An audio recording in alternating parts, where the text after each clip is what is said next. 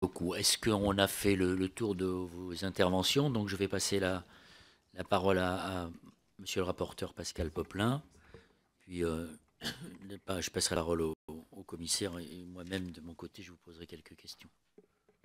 Oui, euh, merci monsieur le président. Je voulais en, préambule euh, vous dire que personne ici, en tout cas pas moi, ne peut rester indifférent à vos témoignages, à vos situations personnelles et à toutes celles que vous avez rapportées.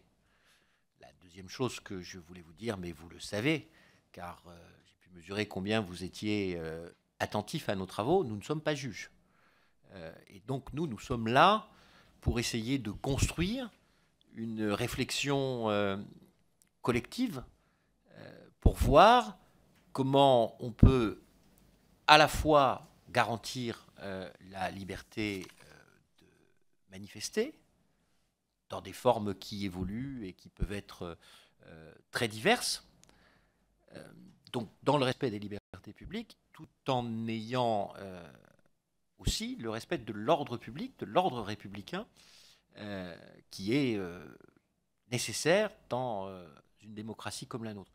Je voulais dire à l'un des intervenants que je n'avais pas ce qui me concerne reçu les dix propositions du directeur de la gendarmerie nationale comme euh, étant des demandes tendant à la restriction des libertés publiques. Quand, par exemple, il indique euh, souhaiter renforcer le dialogue euh, avec les manifestants, améliorer la lisibilité des sommations, adapter les équipements, notamment les moyens de force intermédiaires, pour permettre une utilisation plus encadrée, ça ne me semble pas, de mon point de vue, euh, être euh, une volonté de euh, réduire les libertés publiques. J'ai finalement assez peu de questions à vous poser parce que à travers votre, vos témoignages à, différentes voix qui étaient très charpentés, vous avez au fur et à mesure répondu à, nombre des questions qui, qui me venaient au fil des premiers exposés, en particulier sur la question des circonstances dans lesquels euh, vous aviez été euh, victime. Euh, et la seule remarque que j'ai à ce stade, bien que n'étant pas juge, c'est qu'il me semble que vous avez été victime dans des conditions qui étaient, et vous l'avez dit pour certains d'entre vous, qui étaient le non-respect de la doctrine et des processus d'emploi euh, de la force tels qu'ils nous ont par ailleurs euh, été décrits. Euh, ce qui d'ailleurs nous interroge sur les conditions dans lesquelles il nous serait possible d'encore améliorer cela, même si après il y a toujours une part d'humain. Vous nous avez aussi éclairé pour certains sur, et en tout cas statistiquement, sur les, les, questions de suite judiciaire.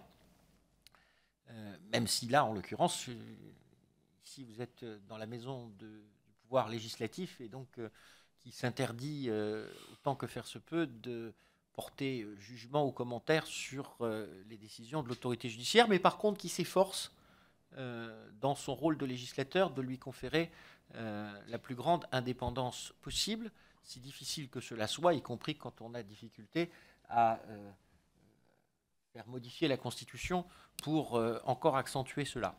Euh, je voulais vous dire que j'avais bien reçu le message, euh, qui je crois était le cœur de vos différents témoignages au-delà de vos histoires intime et personnel, euh, qui est la position très claire que vous exprimez de demander l'interdiction de l'emploi des lanceurs de balles de défense pour les unités en charge du maintien de l'ordre et des flashballs pour les autres forces de police, puisque le flashball n'est pas en dotation sur euh, l'unité de maintien de l'ordre, mais on sait que LBD et flashball, vous l'avez euh, dit vous-même, produisent les mêmes effets. Je, nuancerai le propos de l'un d'entre vous qui a dit que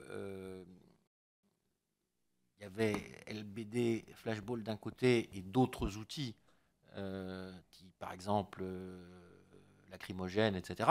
Et, je le nuance à l'aune du euh, témoignage du docteur Lévesque, qui a indiqué que tant les lacrymogènes que les grenades assourdissantes, etc., pouvaient aussi produire des effets. Donc on sait que de toute façon, l'emploi de l'ensemble de ces techniques, qui normalement ne doit intervenir qu'en dernier recours et après euh, euh, des sommations, après de, manière très encadrée, pour l'ensemble des sujets. J'ai bien compris le point précis que vous donnez s'agissant du flashball, mais pour l'ensemble des outils qui sont employés, ils sont de toute façon ils doivent être employés euh, avec discernement et dans des conditions de sécurité maximale. Ça n'est pas simple.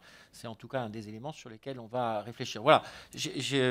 votre propos était euh, très charpenté et donc euh, moi j'y ai trouvé les, réponses aux questions qui me venaient à, à, travers les éléments de témoignage. Mais je sais que d'autres ont sans doute des questions, peut-être qui en amèneront de ma part. Merci beaucoup. Moi, c'est moins des questions.